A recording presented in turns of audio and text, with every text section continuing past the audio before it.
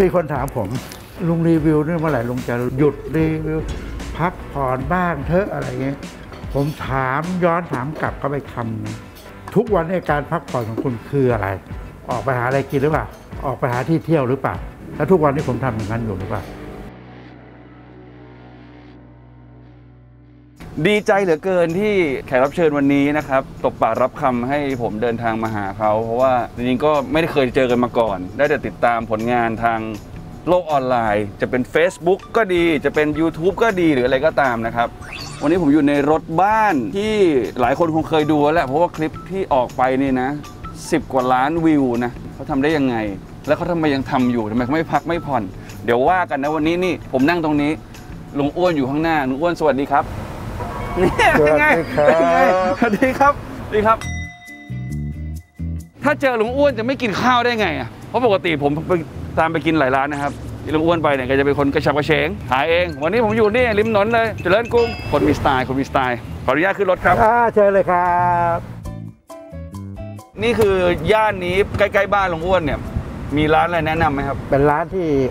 ออกลูกออกหลานมาเป็นร้านในตำนานเหมือนกันครับ แต่ว่านี่เป็นคงเป็นรุ่นลูกหรือรุ่นหลานเขาครับผม เขาชื่อร้านบะหมี่ราชวงศ์บะหมี่ราชวงศ์ คงเคยได้ยินกันนะฮะครับที่ผมเป็นเขาบอกว่าตั้งแต่สมัยรัชกาลที่ 5 เลยโอ้ได้เลยครับ อยู่ที่ท่าน้ำราชวงศ์ครับผม ไปเดี๋ยวเราไปกันครับ จัดไปครับ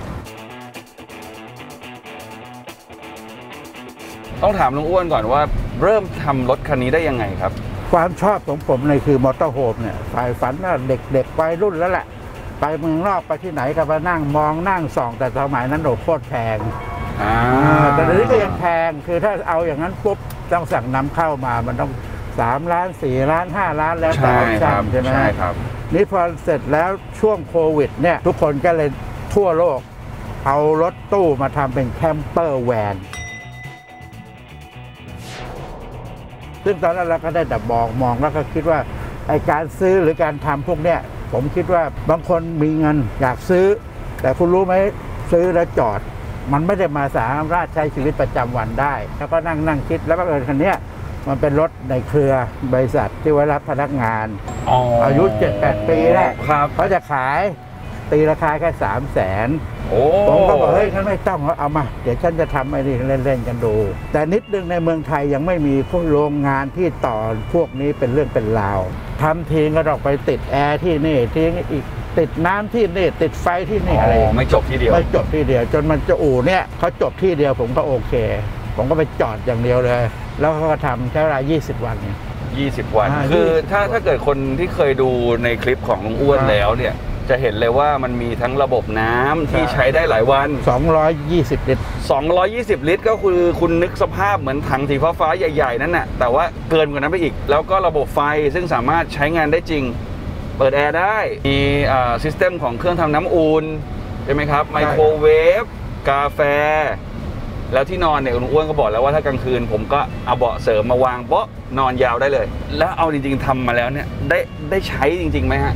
เออได้ฮะได้แต่ไม่ได้บ่อยนัก เพราะอย่างนี้ผมถึงได้เลือกรถตู้ เพราะถ้า motorhome เนี่ยส่วนมากใช้ได้แต่ว่ามาใช้ชีวิตประจำวันมันไม่ค่อยเวิร์กอ่าอย่างรถตู้อย่างเงี้ยโอเค ผมว่าผมก็ขับไปจตุจักรไปห้างไปเที่ยวได้ เพราะว่ามันก็เหมือนรถปกติใช่มันไม่ได้ครับ มีอะไรที่ผิดแผกไปตรงนั้น ผมคือเคยดูคลิปของลุงอ้วนกินกับเที่ยวเนี่ย มันมีระบบการคัดเลือกร้านยังไงครับ คือส่วนมากที่ผมกินเนี่ย จะกินได้ไว้ไว้หนุ่มหรือกินมันนานแล้ว ซึ่งมันอยู่ในสมองหมดอย่างร้านใหม่ ๆ ถ้าจะกินผมจะเข้าไปลองกินก่อนใครเรียกผมแล้วแต่ผมก็จะไปกินก่อนครับ ถ้าโอเค work ผมก็ลงถ้าไม่ work เราก็เฉยๆแต่เราไม่ไป complain ไม่ไปว่าโอเคไม่ไปอะไรก็ทั้งสิ้น และอีกอย่างหนึ่งก็คือบางทีเนี่ยร้านในตำนานมันไม่ได้อร่อยทุกร้านครับ มันแค่มีเรื่องเล่าอืม ว่าเออร้านนี้อย่างนี้นะเว้ยร้านนี้เปิดมานานแค่นี้นะอะไรอย่างเงี้ย มันก็เป็นเรื่องเล่าให้ให้เด็กรุ่นหลังรู้บางคนมาคอมเมนต์โอ้ยไม่อร่อย คือถ้าร้านเก่าแก่เราก็ไม่ได้หมายความว่าจะต้องว้าวจะต้องอร่อยไม่ใช่ครับแต่อย่างนี้นิดหนึ่งคำว่าไม่ใช่ในที่นี้ผมจะไม่เอาตัวเองเป็นผู้ตัดสินครับ คือบางร้านเนี่ยคนเขาเยอะอยู่แล้วครับ คคนห้าคนเนี่ยห้านิ้วความชอบไม่เหมือนกัน แน่นอนครับ เพราะฉะนั้นเราจะต้องดูหนึ่งว่าผู้คนยอมรับในสิ่งนี้ไหมอืมเพราะความชอบของแต่ละคนมันไม่เหมือนกันครับ ของผมคือตั้งแต่พันทิปผมจะไปกินร้านเก่าแก่ สมมติผมไปกินร้านหนึ่งร้านจีนเก่าแก่ ครับ ผมไปกิน 10 คน ผมถ่ายอาหาร 10 จาน นี่ 10 จานนี้นะ มากิน 10 คนนะ เป็นเงินเท่านี้นะ 3,450 อะไรอย่างเงี้ยพอคนเข้าไปดูปุ๊บโอ้ยสิบจานสามารถเตรียมเงินได้พาญาติพ่อแม่พี่น้องไปได้หมด เดี๋ยวเรื่องนี้เราต้องคุยกันยาวนะถ้างั้นน่ะเออยาวเลย เพราะว่าผมอยู่ในพันทิปเนี่ยดราม่าก็เยอะสมัยก่อนเขาเรียกมาม่าเขาไปเรียกมาดม่ารามาม่านักสืบพันทิปจะคุยกันยาวครับโอเค ใกล้ถึงร้านเราถุงอาหารบะหมี่ยังครับเนี่ยผมหิวแล้วเนี่ยครับร้านบะหมี่เขาจะอยู่ตรงข้ามสนามฝึกซ้อมเทนนิสเมืองทองพอดี อะนี่ครับร้านบะหมี่ราชวงศ์ตำนาน 5 แผ่นดิน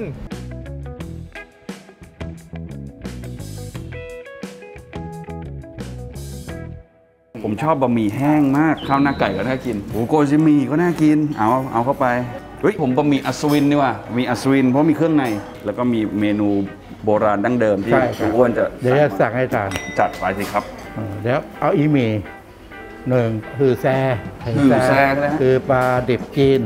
ซาชิมิอะครับ อ่าซาชิมิจีนทิโป้ลิ้นเป็ดแต่ทิโป้นี่ก็คือเป็นเป็นปลาเค็มฮ่องกงมาผัดกับใส่กับลิ้นเป็ดแล้วก็คะน้าอันนี้ไม่เคยทานแน่นอน อ่าฮะลิปคุณว่ากินก๋วยเตี๋ยวผมขอเป็นราดหน้าแต้จิ๋วหมูสับแล้วกัน คือเว็บไซต์พันทิป .com นี่นะมีผลต่อ ผู้คนจำนวนมากในในหลายปีก่อน ใช่ครับศูนย์รวมข่าวสาร ความบันเทิง เรื่องเข้มข้น เรื่องท่องเที่ยว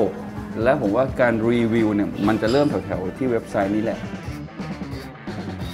สมัยก่อนมันจะเป็นห้องชายคามันยังไม่ได้แยกห้อง จนในที่สุดมาแยกเป็นห้องก้นครัว ก็จะเข้าไปดูคอมเมนต์ ซึ่งตอนนั้นเขาก็จะถามไอ้นู่นอร่อยเนาะไอ้นี่อร่อยนะเราก็เข้าไปตอบตอบตอบ จนในที่สุดวันหนึ่งอะลองรีวิวแล้วกัน ผมจะใช้กล้องมือถือถ่ายเสร็จปุ๊บก็ไปเอาสายเสียบมาต่อเข้ากับเอาครื่งไฟล์ออกมา มันก็ต้องมีการย่อภาพขยายภาพสมัยก่อนมันไม่ได้ง่ายอย่างนี้ครับไซส์ต้องให้เท่าได้เท่านี้ ทำรีวิวหนึ่งที่ใช้เวลาหลายหลายชั่วโมง คือต้องว่างจัดจัดๆถึงจะน่าทำได้ สมัยนั้นเป็นอย่างนั้นมันเริ่มมีกล้องดิจิตอลผมยืมแม่บ้านฮะเอากล้องดิจิตอลตอนนั้นมันเริ่มมีการ์ดครับเอ่อมาถ่ายถ่ายเสร็จไปทำของมันพัง เอาพังก็ต้องไปซื้อให้มันซื้อให้มันเสร็จปุ๊บตอนนี้ก็เลยซื้อกล้องตัวหนึ่งเป็นกล้อง compact อะ ก็ถ่ายถ่ายถ่ายคือการ์ดเสียบว่าลงลงลงปุ๊บไวรัสกินเอาเสร็จปุ๊บก็แบกทำก็ไปตลาดนัดให้เขาซ่อมเสียร้อยสองร้อยแก้ไวรัสอะไรเงี้ยดังนั้นไวรัสกินง่ายมากครับ กินเสร็จก็แบกแบกไปเสร็จก็ให้ช่างดู ถามช่างช่างมันก็บอกเราสมัยก่อนภาษาไทยมันยังไม่มีในในคอมพิวเตอร์ สมัยนั้นเป็นภาษาอังกฤษหมดลุงก็ไม่ได้ว่ามีความรู้สูง ก็ไปถามว่าจะต้องคัดลอกรูปมาเป็นยังไงอะไรตอนนั้นไม่รู้เรื่องเลย ไปปุ๊บก็เลี้ยงซื้อกาแฟมันแก้วให้ยเพชรทำไงวะต๊อกปี้ทำไงวะมันก็บอกเราก็ค่อยเป็นตั้งแต่นั้นมาค่าครูค่ะคือถึงตอนนั้นตอนนั้นนะสับคอมพิวเตอร์ที่ผมไม่รู้เรื่องเลย กดมั่วพอกดมั่วผิดกดมั่วโดนล็อกดูนั่นนี่ไปเรื่อยๆก็จนวันหนึ่งลูกๆเขาก็เออป๊าซื้อ iPad ให้อืมตอนนี้พอ iPad แล้วง่ายและคล่องมือเขาก็รีวิวมาเรื่อยๆ ระยะหลังก็ครับทำจากไอ้มือถืออย่างเดียวเลยอ่า ไม่ได้ใช้ตัวอื่นเลยคือมันพัฒนามาเรื่อยๆนะ คือถ้าคนดูที่เป็นอ่าน้องๆ gen ใหม่นะ คุณจะต้องเข้าใจก่อนว่า เมื่อก่อนนะการอัปโหลดภาพลงไปเนี่ย มันจะมีเงื่อนไขเยอะมากว่าคุณต้องมีภาพขนาด 5 เมกะไบต์เท่านั้น ถ่ายมาบางทีมันใหญ่ไปคุณต้องมา resize มันก่อนคือ มันไม่ได้อะไรก็อัปโหลดได้นะฮะเมื่อก่อนมันวุ่นวายมากเลยนะ แล้วหนึ่งกระทู้ได้กี่ภาพเขาก็จะมีเงื่อนไขของเขาไปหมด ใช่อ่ามันจะยากหน่อย ผมว่าหมดหลายพันนะไอ้ค่าค่าความรู้เนี่ยโอโอเลี้ยงกาแฟสมัยก่อนถือทุกวันคือไอ้ไอ้ไอ้คนสอนนะใจร้ายจริงนะมึงบอกทีเดียวก็รู้หมดแล้วนะบอกให้หมดมาเลยไม่เอาไม่ยอมสอนนะอย่างในพันทิปแต่ละห้องมันจะมีหัวข้อแนะนครับำสิบกระทู้ใช่ครับ ใช่ไหมผมเนี่ยจะได้เก้ากระทู้อุ้ย จนเกิดดราม่าบางคนก็เข้าไปแซะ ลุงอ้วนเป็นใครวะอะไรทำไมได้กระทู้ข้าวกระทู้เนี่ยรีวิวอย่างนี้ก็เหมือนกันทำไมได้ได้เป็นปี คือถ้าเกิดอยู่ข้างบนเนี่ยแปลว่าคุณจะมีอัตราการที่คนจะมองเห็นใช่เยอะที่สุดในการเข้ามามาอ่านจนตอนหลังปุ๊บ ข้อทิพคนจะเข้ามาแก้ต่าง ก็ลุงไม่ได้ทำเอง พวกคุณก็ทำให้เขาเองคือคนจะเข้าไปกดไลค์คือพันทิพย์ก็ไม่ได้ทำตัวผมก็ไม่ได้ทำคือผู้ดูจะเข้าไปกดกดแล้วว่าจะขึ้นขึ้นอืขึ้นมจนตอนหลังคนบอกเอออย่าให้ลุงโดนด่าเยอะเลยก็ไม่ต้องกดแล้วกันก็เลยเหลือลงน้อยลงสี่ห้ากระทูสามกระทูซึ่งตอนนั้นกระทูที่ว่าเนี่ยครับลุงอ้วนทำเรื่องเอ่อรีวิวละเรื่องของการกินร้านอาหารใช่ครับ สมัยก่อนนะ บอกเลยว่าการรีวิวบางทีอายนะ ก็สี่ห้าสิบแล้วอะอายุก็จะเข้าไปกินไปยืนถ่ายรูปอืมหน้ากระจกแล้วรีวิวร้านก๋วยเตี๋ยวร้านอะไรพวกครับคนมันก็มองไอ้แก่นี่มาทำอะไรวะอะเดี๋ยวคุณนึกภาพออกไหมสมัยนั้นมันไม่มีคนจะมาถ่าย ผมก็ใช้วิธีอย่างนี้เรียกความก็ปุ๊บสั่งอาหารถ่ายถ่ายถ่ายถ่ายถ่ายเสร็จกิน จ่ายเงินเสร็จปุ๊บลุกขึ้นปุ๊บก็เดินเลยปั๊บปั๊บปั๊บปั๊บปั๊บปั๊บปั๊บแล้วเดินออกนอกร้านไปเลย คือคือคือมันไม่สามารถเหมือนเดี๋ยวนี้การถือกล้องสมัยก่อนไม่ใช่อืมพอเราถือไปปุ๊บจะถ่ายจะอะไรคนบางทีถามลือจะถ่ายไปทำไมวะเพราะพอดีเพื่อนอยู่ลูกชายอยู่เมืองนอกก็อยากให้เพื่อนเห็นอาหารไทยก็เลยถ่ายส่งให้เขาคือก็แกะไปต่างๆนั้นสมัยนั้นไม่มีคำว่ารีวิวครับแต่ พอตอนหลังรู้ว่าผมเป็นหลวงอ้วน ผมเข้าไปกินใหม่อ้าวลืมไปเอากล้องนั่นแหละเดี๋ยวเดี๋ยวอ้วนจะแต่งหน้าแล้วเอออย่างเงี้ยราดหน้าแต้จิ๋วหมูอ๋อสับนั่นของตรงนะฮะเนี่ยอย่างเงี้ยพอมาผมก็จะถ่ายไว้ก่อน ลงไม่ลงผมถ่ายไว้ก่อนแล้วดูดูขอดูหน่อย ไม่คือมุมมุมของการถ่ายนี่ผมบอกก่อนนะว่าไม่เหมือนกันนะ บางทีผู้ใหญ่เนี่ยเขาจะถ่ายแบบไม่ได้เล้งอะไม่ได้ดู depth of field ไม่ได้อะไรนะ นี่คือถ่ายแบบนักรีวิวนะ มี depth ข้างหลังนะ อ่า เนี่ยนี่ แล้วตอนพอเปลี่ยนมาทำไอ้เนี่ยครับพอมันเป็นคลิปปุ๊บเนี่ยคนคนเราผู้ใหญ่เนี่ยอายุ 60 บวกเนี่ยต้องมาถือโทรศัพท์ถ่ายตัวเองเนี่ยเขินเหมือนกันนะเขินฮะเขินเอาคลิปแรกเลยคลิปแรกเอาอันแรกเลยที่เริ่มเริ่มถือเนี่ยตอนนั้นไม่เซลฟี่ตัวเองเหมือนกัน จะถ่ายตรงถ่ายถ่ายแล้วใส่เสียงภาคไปภาคไปตามที่เราเห็นเป็นร้านโจ๊กเก่าแก่อยู่ปากซอยโรงหนังปริ้น เอาสองไข่พิเศษโจ๊กน้อยนะ พอในอยู่ระยะหนึ่งก็บังเอิญลูกชายช่วงโควิดแล้วลูกชายก็มาช่วย ทุกอย่างมันกลายเป็นเป็นเหมือนเป็นเป็นเป็นโปรไปหมดเลย อืมอะไรทุกอย่างเป็นโปรไปหมด ใครจะมาตกลงติดต่อก็คุยกันแบบมืออาชีพหมดเลย มันก็เลยนั่นมา ผู้คนเริ่มรู้จักว่าขอถ่ายรูปถ่ายอะไรแล้วก็โอเค ไปตลอด มันก็ดีใจไปส่วนอื้อหือซึ่งก็ถือว่ามาดังตอนแก่ เป็นไงฮะอร่อย คือเดี๋ยวนะ เส้นนี่เขาเส้นเขาเด็ดมากเลยนะครับน่าจะนวดเองเลยไหมนวดนวดบะหมี่เองนะ แล้วได้มีไส้นะ มีเส้นจีเครื่องในนี่คือ ไม่มีกลิ่นคาวอะไรเนาะอร่อยมากอืมสุดเวียงสุดเวียงครับ เมื่อกี้บอกว่ามาดังตอนแก่ เริ่มดังกี่ขวบนะฮะหกสิบก็คือเกษียณพอดีนะ คือวัยเกษียณคือลุงอ้วนเนี่ยเป็นขวัญใจของ คนวัยพวกผมด้วย แล้ว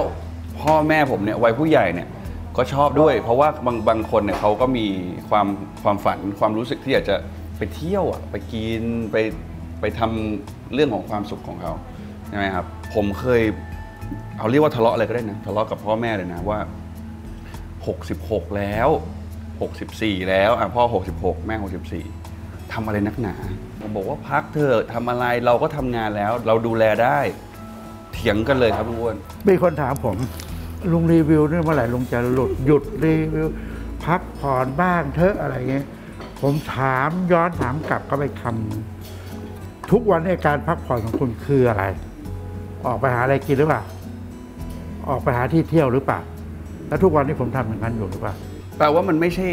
ไม่ใช่การทำงาน ไม่ใช่ ทุกวันนี้ที่ทำลุงอ้วนกินกะเที่ยวเนี่ย มันไม่ใช่งาน ไม่ใช่งาน มันเป็นชีวิตปกติ มันเหนื่อยไหม คุณกินข้าวเหนื่อยไหมอ่า คุณกินข้าวเหนื่อยไหมไม่เหนื่อย ไปเที่ยวเหนื่อยไหมไม่เหนื่อยครับ อยู่ๆมาเออโอ้คุณว่างครับ วันนี้ขอเชิญหน่อยครับเออมาเที่ยวเกาะเสม็ดหน่อย อย่าให้รีมูซีนบรรลับเหนื่อยไหมไม่เหนื่อยครับก็เนี่ยแหละนั่นแหละคือคือบางครั้งก็คิดเออเราก็โชคดีนะ ได้มาอยู่จุดจุดๆเนี้ย เลยทำให้ทุกคอมเมนต์เนี่ยเข้ามาเนี่ยเยอะมาก แก่ตัวไปผมต้องเป็นแบบลุงอ้วนให้ได้ เดี๋ยวผมจะบอกแม่บอกพ่อผมให้ทำแบบลุงอ้วน โอเค เดี๋ยวเนี่ยเดี๋ยวจะซื้อรถให้พ่อทำเนี่ย ตอนนี้ราคาอย่างนี้ให้พ่อไปเที่ยวครับอะไรเงี้ยคือตอนนี้คอมเมนต์อย่างนี้เยอะมากอุ้ยอีหมีเหรอโนี่ครับนี่คืออีหมี่นี่อันนี้เป็นอาหารโบราณที่เขาบอกว่าให้แทนเป็นเหมือนกับของคาวกับของหวาน นะฮะเพราะว่าเราจะกินนี่คือเขาจะใช้จิ๊กโฉวคือซอสเปรี้ยวอันนี้น้ำตาลน้ำตาลอ่าอืมอืมอร่อยจะไม่ค่อยคุ้นเท่าไหร่เพราะมันมีน้ำตาลเป็นกรุบๆที่เมื่อกี้ที่ลุงก้นบอกว่าจะสั่งอีหมี่ผมคือผัดหมี่แหละครับอ๋ออันนั้นไม่ใช่ อันนี้อีหมี่คือต้องตัวนี้ เราสนทนากันสั้น ๆ วันเนี้ยผมแทบจะลืมคำหนึ่งจากโลกใบนี้ไปเลยคือคำว่า คนแก่ คือเหมือนมันไม่มีคนเรามันไม่มีคำว่าแก่หรอก ผมยังไม่เห็นขีดจำกัดอะไรที่ที่ออกมาจากปากลุงอ้วนเลยนะ อย่างผมนี่บอกตรงช่วงโควิดจะอยู่บ้านนะลุกก็โอ้ยนั่งก็โอ้ยนะขึ้นบันไดทีสาวสาวราวบันไดขึ้นครับเจ็บปวด แต่พอบอกไปเที่ยวปุ๊บกระเป๋าใบแครี่ลาก เครื่องไม่ได้เข้างวง แล้วที่กระเป๋าเดินขึ้นบันไดครับ ตัวปลิวเลยปุ๊บปุ๊บปุ๊บปุ๊บอยู่บ้านนั้นวิ่ง จากรถลงถือกับข้าวถุงไม่มีแรงเลย เรื่องนี้พูดไปจะหาว่าโม้นะ แต่ว่าแม่ผมนี่นะ อยู่บ้านเข่าเจ็บเออ ไปฉีดยาเติมน้ำในเข่าพาไปสวิตเท่านั้นนะเดินขึ้นจุงฟลาวเฮ้ย ไหนเข่าเจ็บอะไม่ไม่เท่าไหร่ พอกลับมาบ้านเหมือนเดิม เหมือนเดิม โอ้ยปวดเราถึงบอกว่าจงใช้ชีวิตไปเถอะเราอยากคิดว่าวันหนึ่งถ้าเราไม่ไหวแล้ว หรือเราไปนอนอยู่ติดเตียง แม่งเอาหูฉลามให้กูกินโอ้ยอร่อยกินซี่อะไรไม่ได้กินแล้วล่ะ คุณพ่อคุณแม่อายุเยอะจะกินแล้วให้ท่านกินไปเถอะทุกอย่างในอายุเนี่ย มันมันมันมันมีกำหนดอะไรไม่แน่นอนางทีเห็นคนแข็งแรงอย่างเป็นข่าวเยอะๆๆๆโอ้ยคนนี้ยังแข็งแรงอยู่พวกนี้ออกข่าวเป็นมะเร็งตายแล้วคืออย่างเงี้ยมันเป็นเซี่ยวอย่างนั้นจริงๆที่มันไม่รู้ชะตาตัวเองงั้นเราจงทำทำในสิ่งที่ที่ไม่ให้คนอื่นเดือดร้อนครับไม่ทำในสิ่งที่ผิดศีลธรรมอยากจะทำอะไรทำแต่ว่าอย่างจะขอย้ำอีกทีก็คือต้นทุนคนเรามันไม่เหมือนกันครับไม่ใช่ไม่ใช่อย่างที่เมื่อกี้ผมพูดอะ เออก็มึงรวยมึงทำได้ มึงมีเงินมึงทำได้กูไม่มีคือ เราก็ทำในสิ่งที่เราทำเราไม่มีเงินแล้วก็ขึ้นรถเมย์ผมก็อย่างนั้นจริงในวันเนี้ยในวัย 60 กว่าขวบของลุงอ้วนเนี่ยความสุขของลุงอ้วนหน้าตาเป็นแบบไหนครับๆผมมีคติคำใจอย่างคือ ถ้าเราไม่มีความอยาก ไม่มีความอยากเราก็ไม่มีความทุกข์ แต่ก่อนเล่นรถผมเล่นรถสปอร์ตแต่สปอร์ตโบราณ แล้วพอโตขึ้นตอนนี้แม่กูอยากขี่ซุปเปอร์คาร์ตังค์ไม่มี ถ้าเราไม่คิดเราไม่ทุกข์ถ้ามีความอยากโอ้อยากอะไรมันจะคิดโอ้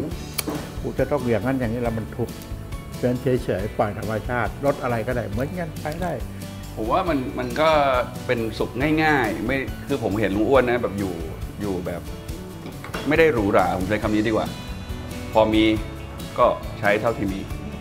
แล้วก็ enjoy กับชีวิต ผมว่านี่คือโอ้โหคำตอบที่ผมที่ผมได้สนทนาวันนี้เลยยอดเยี่ยมไปเลยครับผมนี่ลองปลาเด็ดเอาเถอะเอาสิครับ เอาสิครับอะลองลองเลยนี่เอาอร่อยหวาวันนี้ อืม อร่อยเลย ดีใจที่ได้สนทนาแล้วก็ ขอบคุณที่ให้รายการแบบเล็กๆ อบอุ่นของเราแวะมารบกวนเวลานะครับ ก็เอนจอยกับชีวิตเหมือนที่ลุงอ้วนได้เล่าให้เราฟังนะ ทุกคนนะ เต็มที่กับมันไป โดยที่อย่าไปเดือดร้อนใคร แค่นั้นเองบาย สวัสดีครับ ขอบคุณครับลุงอ้วนครับ